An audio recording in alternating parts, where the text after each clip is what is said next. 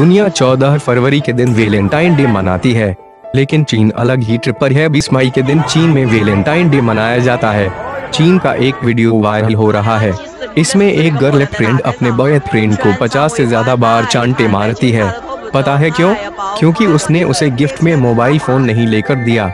Viral हुआ video.